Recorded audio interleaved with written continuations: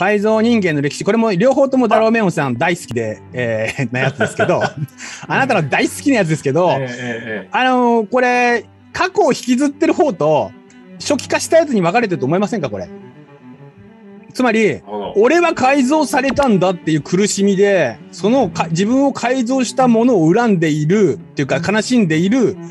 時代、70年代ヒーロー。だからそ、その人たちと、にとって、その、まあ、敵になって戦うっていう、えー人たち。だこれが70年代までの日本人。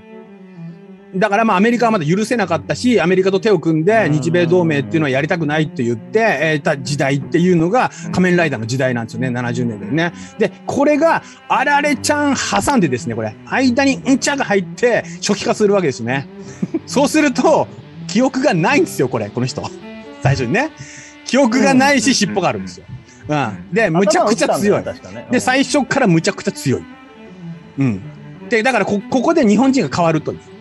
一つの、だから、うんかんこれ、これは本当に世代的にこの感覚すごくある。俺の時代はまだ引きずってた。俺も引きずってる、過去を。その、それまでの、その歴史みたいなのを。だけど、80年代にいきなりパーンって明るくなって、んちゃーって始まっちゃうと、そういうのもういいからってなってからの、えードラゴンボールなので、あの、改造された日本人っていうのは、まあ、要するに、まあ、改造されたとかアメリカ人になった日本人なんだけどさ、アメリカ人になった日本人は、その、えーアジア風の服を着てるんだけど、実は中はアメリカ人になってんじゃないかな、みたいな感じに、僕は感じるんですけど、最後まで見てくれてありがとうございます。チャンネル登録をお願いします。